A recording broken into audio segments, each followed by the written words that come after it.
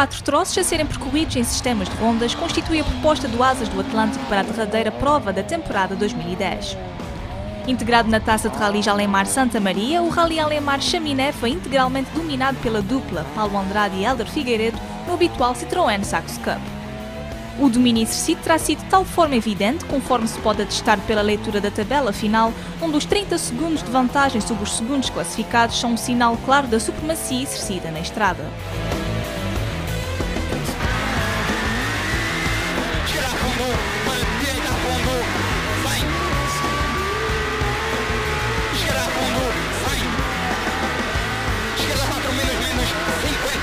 É sempre gratificante chegar ao final do Rally em primeiro lugar e mais que tudo acabar este campeonato, esta taça de Rallys Alemar Santa Maria na primeira posição, é ser o primeiro vencedor em provas organizadas pela secção de automobilismo e karting do Clube Asas do Atlântico sobre a égide da Federação é fantástico, como eu estava a contar.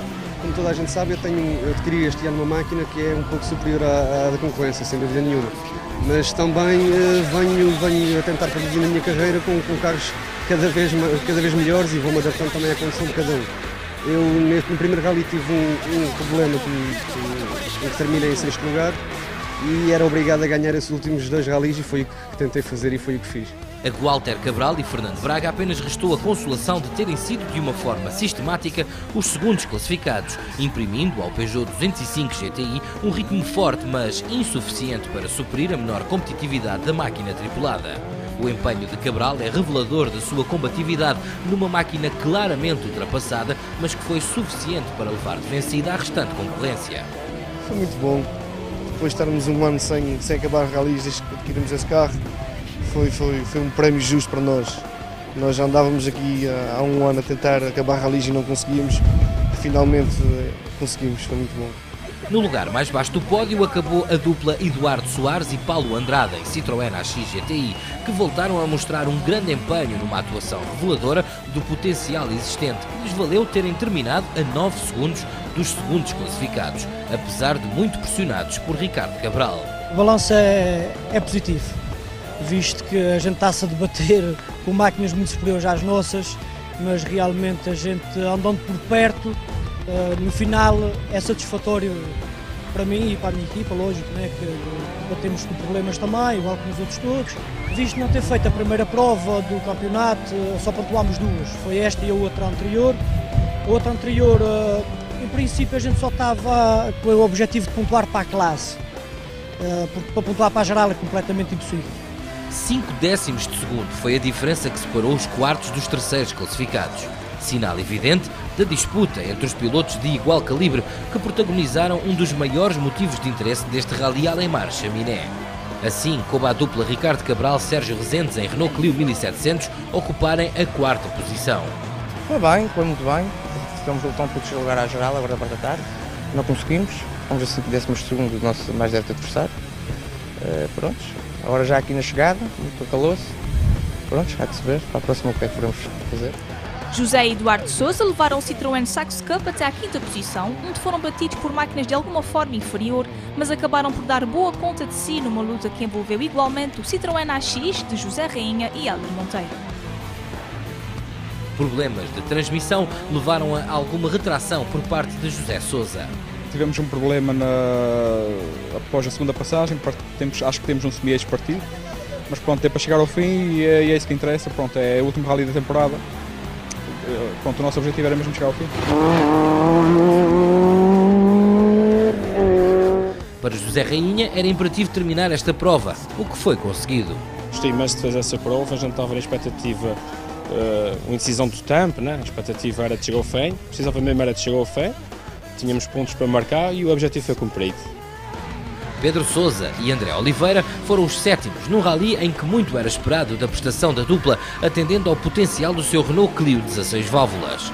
Problemas sentidos ao longo da época terão condicionado a atuação. Não quisemos arriscar para não partir, o hábito do carro onde tem é que rodar, três rallies de terminar, agora esse para terminar acho que é muito bom na sua classificação, também não deve ser muito boa, mas no final do campeonato o terceiro lugar está quase garantido, eu acho que já é ótimo para, para o elemento que a gente teve. Navegado por Joana Batista, José Fontes levou o seu limitado Renault Clio 1200 até à oitava posição, dando conta no final do seu agrado em competir. Correu bem, chegamos ao fim, o objetivo era esse. Acho que quando chega ao fim corre sempre bem. Tendo em conta que no, na primeira prova não entraram todos, acho que era, era basicamente isso que se estava à espera.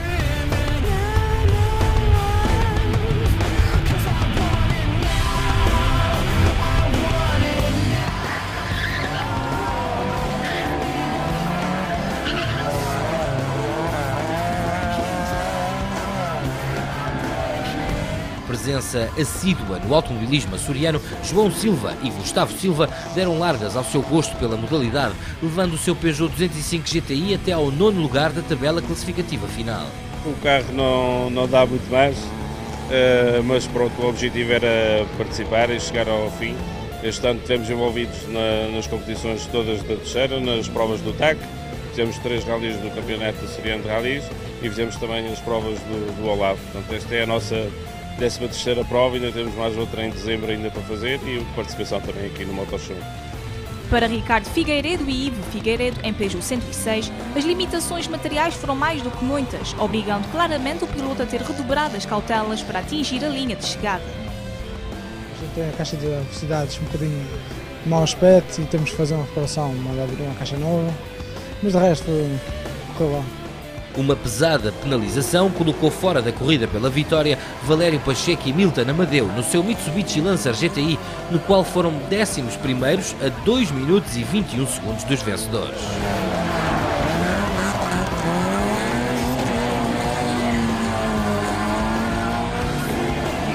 rally não foi nada fácil outra vez. Andamos aqui a entrar nos rallies eh, por gosto, mas acontecem sempre azares. Uh, na, na, primeira prova de especial nós ficamos sem, sem o travão de mão, no curva espetáculo perdemos muito tempo e um pouco mais à frente também, ou seja, o tempo foi uh, muito mal. Na segunda melhoramos um pouco, uh, mas mesmo assim andamos, não andamos bem, a verdade é que não andamos bem. depois vamos a uma penalização, mais uma, cada prova uma penalização. E agora a parte da tarde foi para divertir, não tinha nada a perder. Estávamos em último lugar teórico, provisório, na, na classificação oficiosa, e foi andar aquilo que sabíamos, podíamos e divertimos imenso. E é essa a questão, é divertir. Eu já passei por primeiro lugar, tive até primeiro lugar até a partir desta prova, percebe? É o meu primeiro ano de ralis. Portanto, só o fato de ter passado pelo primeiro lugar já, é, já me orgulha bastante. A mim e a todos aqueles que me acompanham eh, na preparação do carro e na manutenção do veículo. Para Rui Cardoso, diretor de prova, a forma como a competição decorreu é por si só sinal evidente da euforia que se vive em Santa Maria quando de ralis falarmos estou satisfeito porque mais uma vez conseguimos terminar o rally sem incidentes de registro, portanto, tivemos três desistências ou duas desistências, mas por causas técnicas. E quando assim é, o tempo acabou por ajudar também, portanto quando assim é, é vale a pena.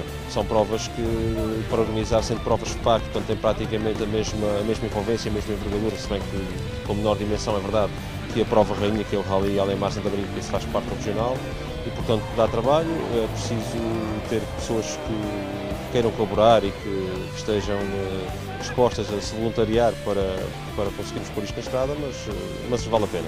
Afinando pelo mesmo diapasão, António Pincho, presidente do Clube Asas do Atlântico, traça-nos o percurso seguido pela agremiação a que preside, onde é evidente uma satisfação enorme pelo trabalho desenvolvido. O balanço é espetacular. Isto deu início há três anos. Uh, começámos de uma forma muito simples, Uh, atualmente uh, conseguimos realmente ter uma, uma base de profissionalismo já muito interessante, basicamente começando logo pelo princípio da, das provas estarem oficializadas através da FPAC e cumpre-me salientar que no fundo deste trajeto todo de três anos e particularmente este ano, uma situação que eu gostaria de fazer realçar é acima de tudo o enorme desportivismo com que têm decorrido todas estas provas. Tem havido um fair play absolutamente fantástico que só nos motiva e nos torna, nos torna muito felizes porque, por levarmos a cabo este tipo de organizações. Contas feitas e depois de uma temporada a repetir, Paulo Andrade foi o vencedor da Taça de Rallys Alemar Santa Maria.